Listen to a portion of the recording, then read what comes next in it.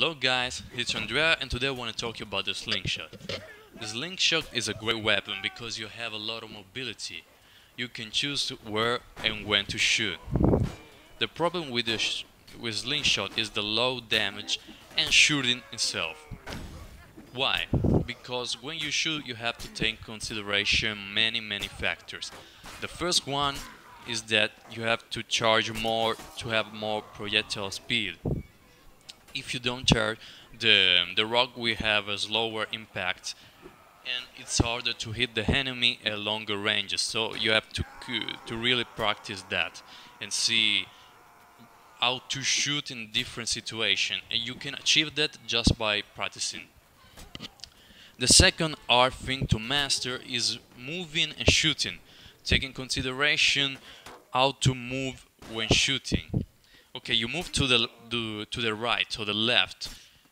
You can see that if you shoot even your project your rock will change its uh, direction. So keep that in mind.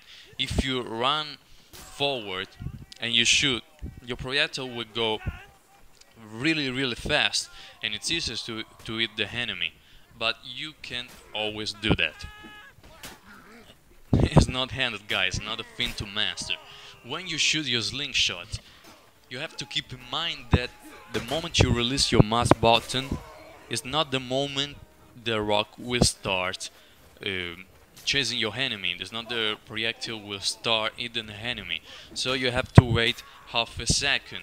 So keep your mouse steady in the in the direction you want to shoot and remember to lead a little bit more. If you don't know how to lead, what uh, the lead shot is, check one of my other videos when I talk about the different type of shots.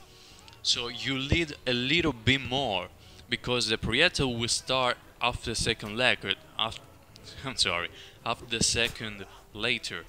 But that means that your enemy will be moving more in that uh, period of time. So you have to keep that in mind. Once you know that, I give you a strategy I like to use. Okay, you see an enemy, what you start doing? You start shooting him. Okay, you hit him one, two times, but the slingshot is not a killing machine, it's not a Uzi. So, the enemy will start chasing you. What you can do are two options. Keep shooting at them, you may hit one or two more times, you will not kill them if they are a knight. So four shots and they're still alive, and they will get you eventually and kill you. Or you can do a really great thing, which is running away from them and running towards your allies. Lure them into your allies. They're wounded, they're weak, they got the psychological pressure of your shots, of your presence even if you don't hit them. They may be do get angry, do something stupid, and chase you even if your allies are helping you, or maybe they just give up chasing you. So you can just stop and start shooting them again, annoying them, and getting a lot of points, which is all the slingshot is about: annoying, keep the pressure, and wounding the enemy.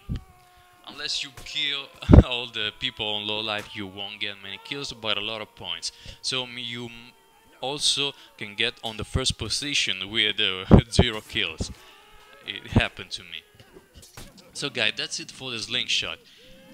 It's, mm, I won't go deep into the slingshot because I feel it's not that great for competitive gaming. It's not great in all the situation. It's uh, it's good, but not the best. Okay guys, thank you for watching and see you the next time.